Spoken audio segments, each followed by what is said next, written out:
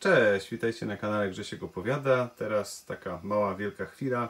Spróbujemy na tym laptopie, którego już pokazywałem w jednym z wcześniejszych odcinków, zainstalować Windowsa, ale nie byle jakiego. Będzie to Windows for Workgroups wersja 3.11 po polsku na chyba 10 dyskietkach.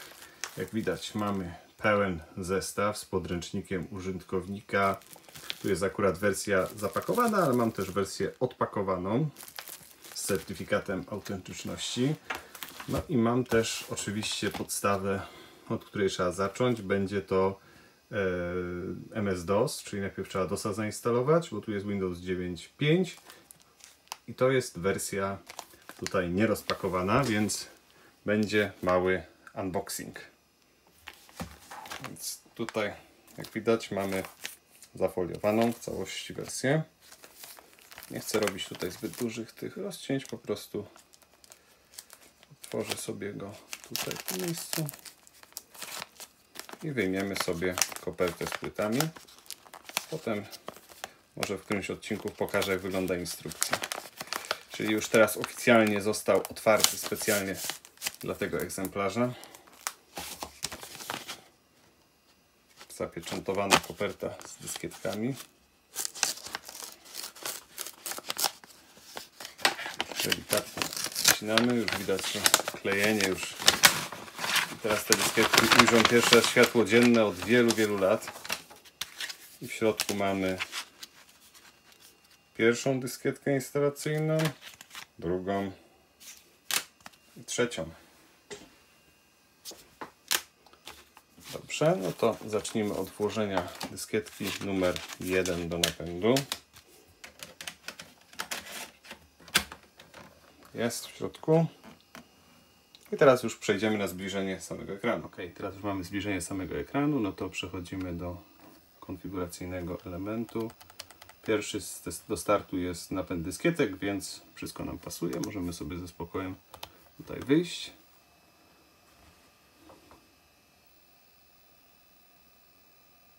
Test pamięci.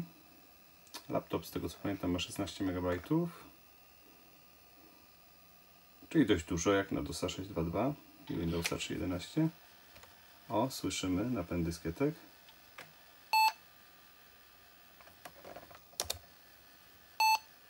No nie. O, po którymś próbie udało się jednak odpalić instalację. Nie wiem, może po prostu jakby tutaj stacja nie chciała czytać albo coś, ale wymieniłem przecież tą stację właśnie na działającą. Zapomniałem powiedzieć, że udało mi się w końcu kupić właściwą stację dyskietek do tego laptopa i wymienić. Dobra, no czyli tak. Kurczę. Czyli on wykrył, że mam DOSa, więc nie mogę DOSa zainstalować. Musiałbym w tym momencie wykasować dysk i dopiero wtedy zacząć. To wyjdźmy z tego. 3 exit.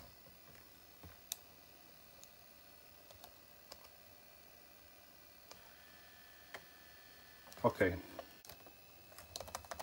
Czy mamy narzędzie do formatowania dysku? Tak, jest. Czyli teraz zróbmy magiczny, magiczny rozkaz. Sformatujmy dysk w tym laptopie. Czyli utracimy naszego francuskiego Windowsa.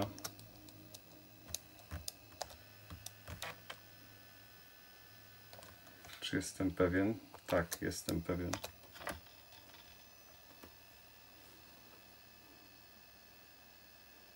Tak z ciekawych komentarzy, tutaj widać, że posunęliśmy się dalej tutaj w tym procent w formatowania dysku, ale widać, że on zapisuje informację umożliwiającą powrót, jakby anulowanie tego formatowania, z tego co rozumiem, czyli tak zrobienie unformatu, bo ten wcześniejsze DOSy chyba miały taką możliwość, że jak sformatowaliśmy dysk przez przypadek, to mogliśmy jednak dane odzyskać.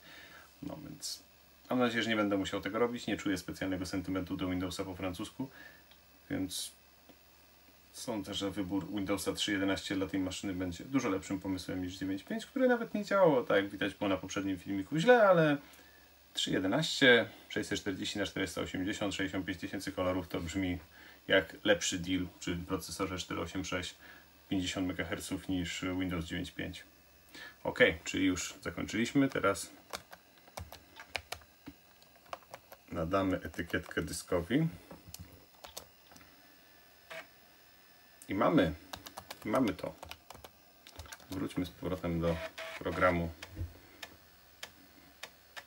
z dyskietki instalującego DOSa.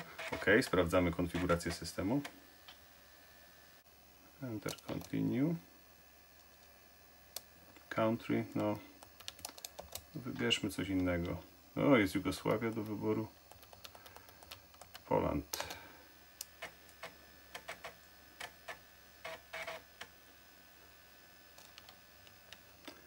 No, klawiatura też y, polski programisty może będzie. Mam nadzieję, że to nie jest jakaś ta dziwny układ polski. Settings, no za dużo tych ustawień tu nie mamy. No, może jeszcze jakąś datę sobie tu zrobimy inną. Skoro robię to w majówkę, no to zróbmy tutaj ładnie 05. I dzisiaj mamy 3 maj. Godzina no nie jest 0,15, powiedzmy, że jest... A właściwie mogę wpisać tą właściwą, tylko właśnie mam telefon.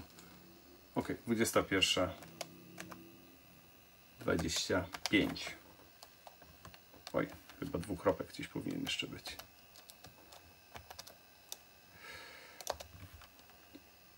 Ok. No może być CDOS. No to instalujemy DOSa. Mam nadzieję, że da się odczytać wszystko z dyskietki, nie będzie problemu. Widzę, że idziemy do przodu, na razie mamy 1%. Ok, więc ten ekran nie będzie zbyt pasjonujący, więc wrócę do całości, jak będziemy przykończyć. Ok, czyli skopiowaliśmy co trzeba z pierwszej dyskietki. Pierwsza dyskietka już za nami. Pora na dyskietkę numer 2.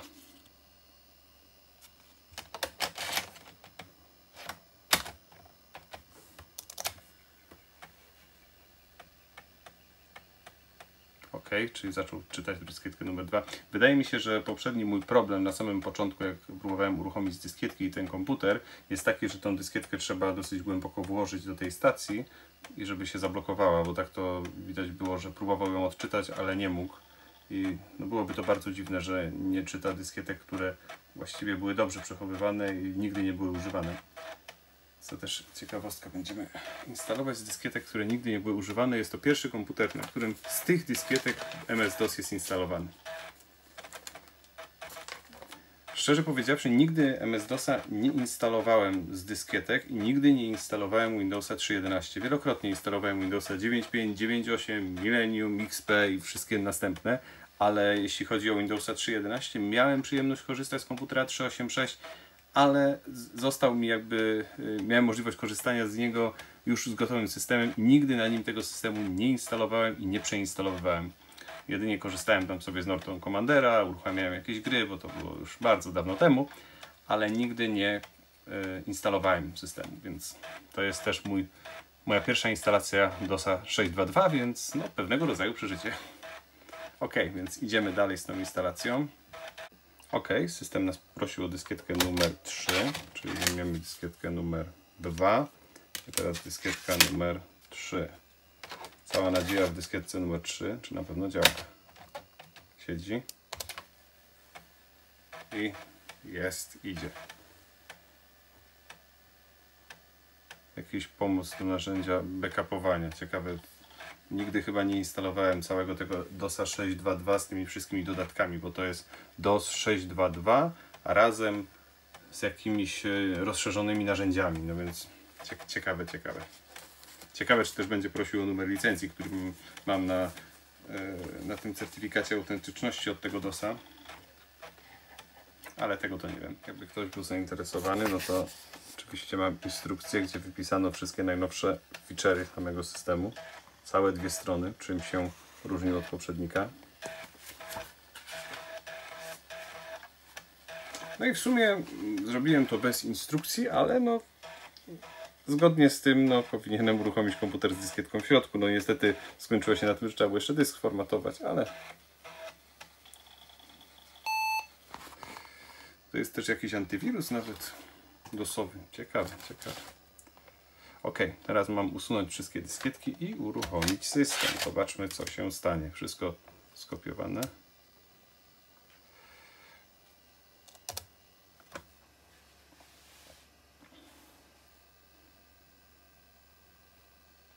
Ok, mamy to Shiba Video.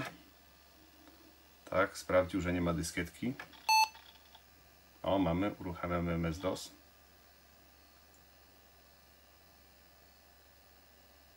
Wszystko na domyślnych ustawieniach, tak jak się zainstalował. I jest DOS. Jest nasz DOS. Sprawdźmy sobie, co my tutaj mamy. Mamy AutoExeca, mamy katalog z DOSem. I cóż, cóż w tym katalogu mamy? Jeśli będę robić jakieś... O, widzę, że tutaj mam tę polską klawiaturę jakąś trochę dziwną. Bo w miejscu, gdzie powinienem mieć inne klawisze mam... O, tu polskie znaki. Powiedzmy, że zajmijmy się instalacją tego Windowsa tutaj. Jak nie, no to będę musiał zainstalować jeszcze raz yy, z innym jakby tutaj yy, układem klawiatury, tym amerykańskim, albo sobie doczytać w instrukcji, jak go zmienić. Bo teraz mam układ polski. Właśnie obawiałem się tego, że zamiast polskiego programisty będę miał polski układ klawiatury, który robi dziwne rzeczy, a dodatkowo klawiaturę, którą mam, to jest jeszcze francuska, żeby było jeszcze ciekawiej. Ok, to jedziemy w takim razie dalej. Pierwsza dyskietka Windowsa.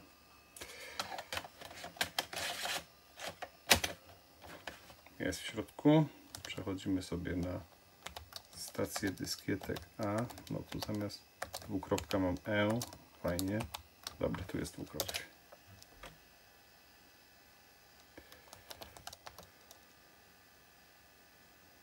Jest, są pliki. No trochę przepraszam za moją pisownię, ale mam po prostu problemy z tą klawiaturą, która jest nie dość, że francuska, to jeszcze z układem polskim klawiatury, to naprawdę się cuda dzieją. Sądna chwila, uruchomienie instalatora Windows 3.11, tym razem już w wersji polskiej, ale w DOSie pewnie będę musiał ten język zmienić.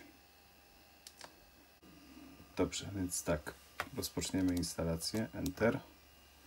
Ekspresowa i indywidualna. No zobaczmy indywidualną. No ok, czyli zostanie zainstalowany w katalogu Windows. No fajnie. Aha, czyli ta indywidualna to tylko miała katalog pytał? Nie.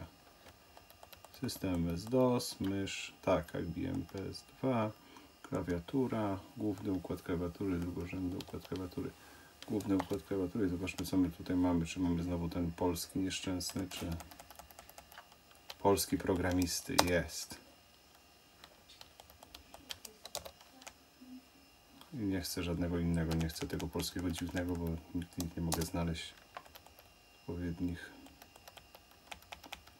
Język polski. Naciśnij Enter, aby zaakceptować. Chyba powinno być wszystko ok. Czyli dobrze, że przeszliśmy do tej indywidualnej, bo przynajmniej y, nie będę miał znowu problemu z tą polską klawiaturą po raz drugi.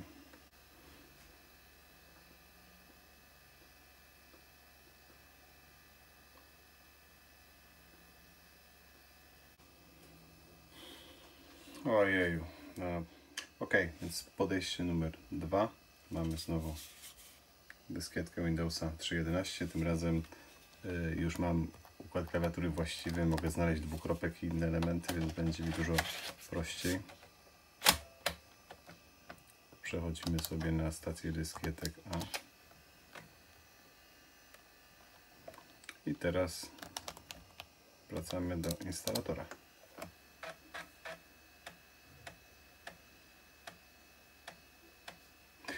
Ciekawe, czy wszystkie dyskietki będą działać. Jest ich aż 10, ale kiedyś dyskietki robili całkiem dobre, więc powinno być ok. Ok, mamy instalator Windowsa 3.11. No, tych pasków to u mnie nie widać, to jest generalnie tylko na kamerze. Udało mi się włożyć dyskietkę jeszcze raz i stacja dyskietek zmieniła dźwięki, jakie wydaje z siebie, no i widać, działa dalej. No, no, wymieniłem stację, na którą, która niby działa, ale ona ma jakieś takie swoje własne bóle, że czasami działa, czasami nie działa, w zależności od tego, jak dyskietkę do niej włożę. I naprawdę jest to loteria. Jestem ciekaw, czy uda mi się przebrnąć przez wszystkie 10 dyskietek instalacyjnych Windows 3.11, Czy będę musiał kilkukrotnie zaczynać od początku?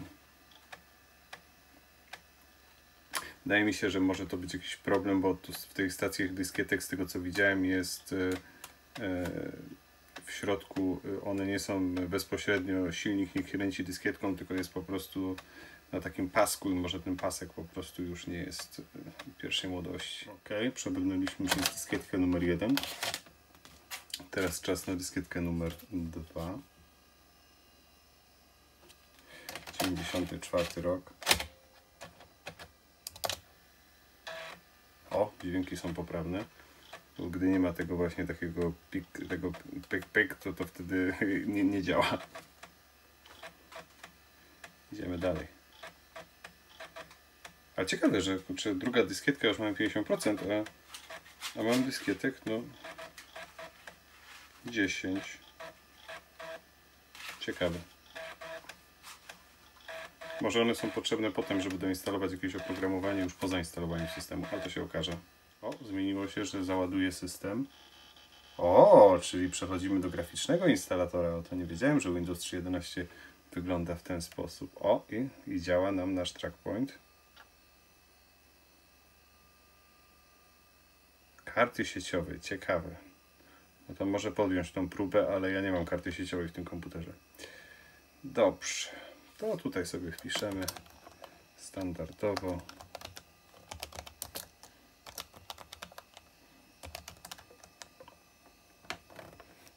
Firmę zróbmy jakąś kropkę. No i numer produktu. Nie wiem, czy muszę go wpisywać, czy mogę sobie przejść dalej bez niego. Tak, mogę przejść dalej bez numeru produktu, super. To dalej. Zainstaluj tylko wybrane elementy. Zainstaluj drukarki, programy, które znajdują się na dysku twardym. No. Wyczyść to pole wyboru, jeśli chcesz zainstalować wszystkie elementy.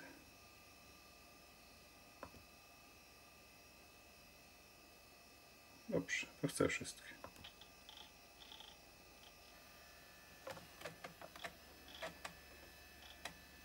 O, czyli mamy ekran graficzny. Ciekawe, że bez restartu się odbyło, tylko od razu przeszedł do instalacji. Dobra, no później za chwilę wrócę, pewnie będziemy mieli dyskietkę. Okay, czyli wracamy z kolejną dyskietką. To będzie dyskietka teraz numer 3. Czyli jednak są potrzebne te pozostałe. Dyskietka numer 3. O, właściwe dźwięki. No to jedziemy dalej. Widzę, że wszystkie dyskietki po kolei będą raczej potrzebne, bo tutaj widzę, że przed chwilą był e, instalowany menedżer plików, teraz jest edytor tekstu.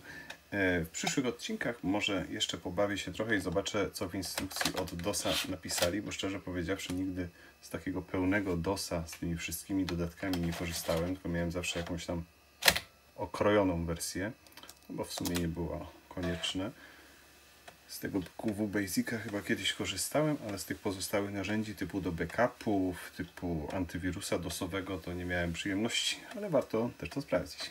Ok, teraz mamy dyskietkę numer 5, czyli już żegnamy dyskietkę numer 4. Do akcji wkracza dyskietka numer 5.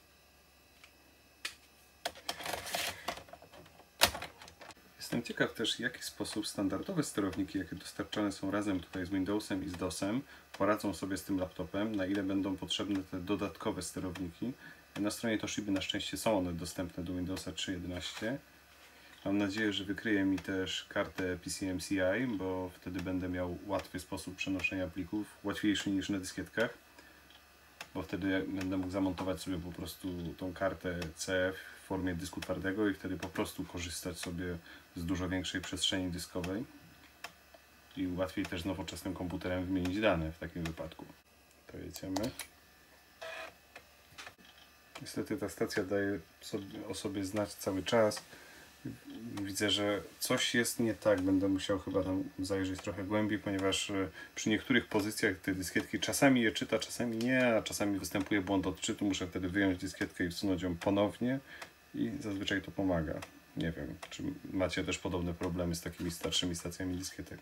Ale jest to ciekawe przeżycie, takie instalowanie Windowsa zupełnie od początku i teraz te dźwięki klikającej stacji dyskietek i dysku twardego. To dzisiaj już teraz przy dyskach SSD i innych to już się tego raczej praktycznie już nie spotyka. Jest to taki dźwięki z przeszłości. Dyskietka numer 6.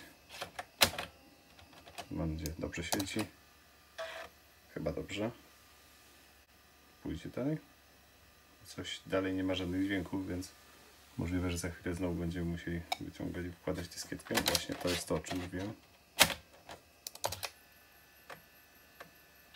O, i właśnie wyciągnąłem dyskietkę, włożyłem ponownie i dalej przeszło. No niestety mam nadzieję, że dojdę, dojdę do końca z tym. Jeszcze jedna stacja dyskietek w drodze.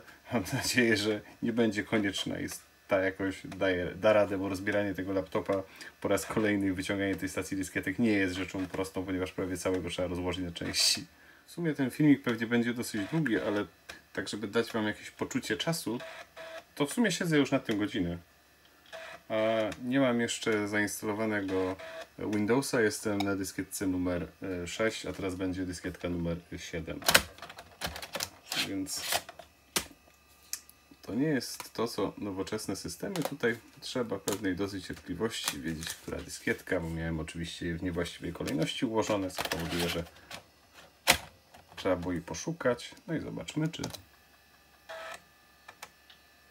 tak, chyba, dźwięki właściwe. Tak, teraz już można chyba po dźwięku zacznę rozpoznawać, czy, czy ją przeczyta właściwie, czy nie.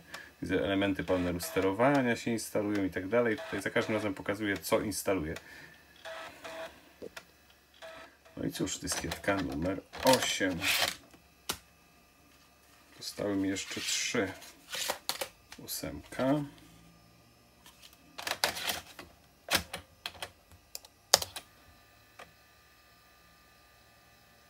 Chyba znowu niewłaściwie włożyłem dyskietkę. Tak. To też.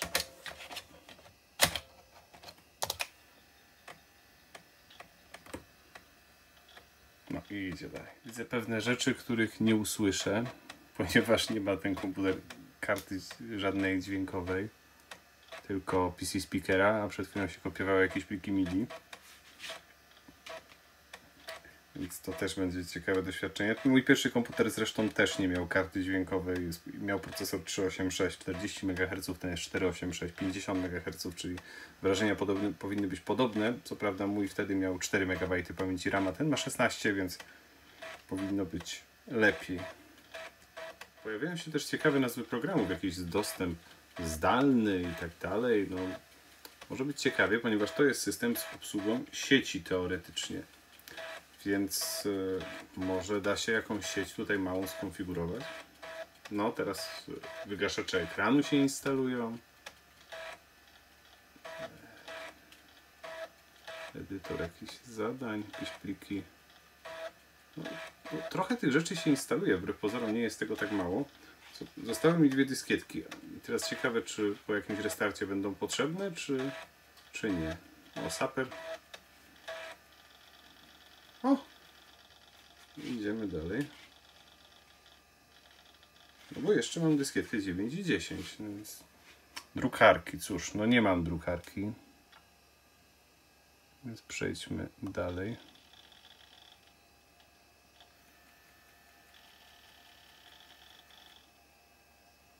Sieci. No nie mam karty sieciowej w tym komputerze w tym momencie, więc przejdźmy sobie dalej. Program instalacyjny musi zmodyfikować config sys autoexec backed prawidłowego zainstalowania Windows. Wybierz żądaną metodę, naciśnij przycisk dalej lub klawisz Enter. Wykonaj wszystkie, wykonać wszystkie zmiany za Ciebie. No, niech wykona wszystkie zmiany za mnie. OK. Czyli zrobi mi kopię. Wow. Ale narzędzi jeszcze nawet gry zainstalował. Program instalacyjny może przy wykonaniu wszystkich odpowiednich aplikacji zainstalować je w katalogu Windows. Wybierz lokalizację. No, no, zróbmy to szukaj, ale nie sądzę, żeby tutaj coś ciekawego znalazł. O, MS-DOS Editor znalazł. OK. Dodaj wszystkie. Co tam?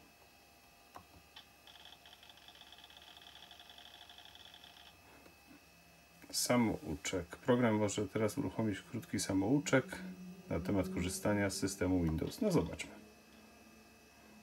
Zapraszamy do samouczka systemu Windows. Umiem posługiwać się myszą, powiedzmy.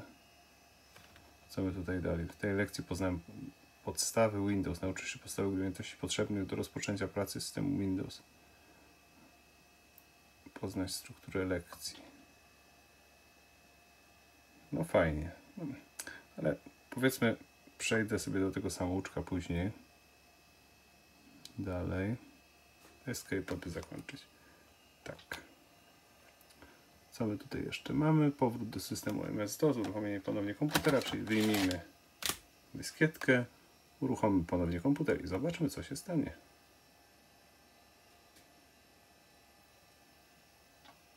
Mamy BIOS Toshiba. No i mamy jeszcze dwie, dwie tajemnicze dyskietki, które nie były potrzebne przy instalacji. No, no tutaj nie mamy tej polskiej strony kodowej.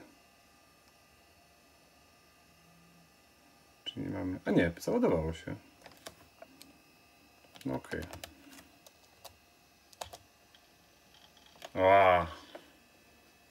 Windows 3.11, czyli standardowo nie startuje, tylko nam lądujemy w DOSie, no i musimy napisać Win. No tak co pamiętam, że to tak kiedyś wyglądało, więc jest menedżer programów. Mamy menedżera programów, menedżera plików, panel sterowania.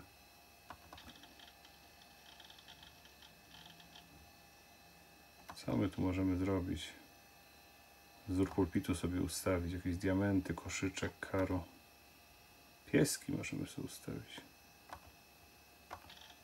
O, mamy takie małe pieski na pulpicie. No, nie wiem, chyba wolę jednak jednolity, bez żadnych wzorów, bo to trochę wygląda to niepokojąco. Klawiatura, tryb rozszerzony 386. OK, panel sterowania sobie zamknijmy, a sam menedżer programów, o menedżerze programów sobie zobaczmy. Mamy pamięć 50 megabajtów, a on ma 16. Czemu on widzi tu 50? No to ciekawe.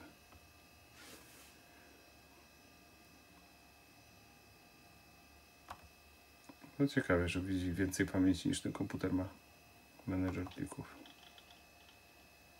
O, stary menedżer plików. Jest katalog Windows, katalog System.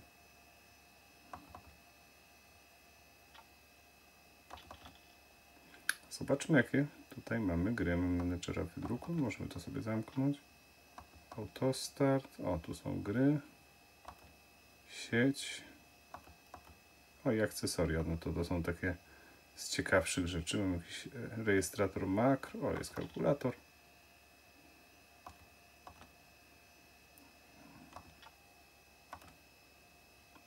No i, i działa. Ok, tu mamy te gry. O, mamy pasjansa. Podstawowy program biurowy w tamtych latach. No cóż, na tym bym zakończył już tutaj tą pierwszą taką przygodę z samym Windowsem. No, komputer już mamy skonfigurowany, Windowsa mamy. Y, to, co muszę teraz zrobić, to jeszcze doinstalować brakujące programy. A właśnie, to jeszcze zobaczmy, czy tą kartę PCMCI wykryje.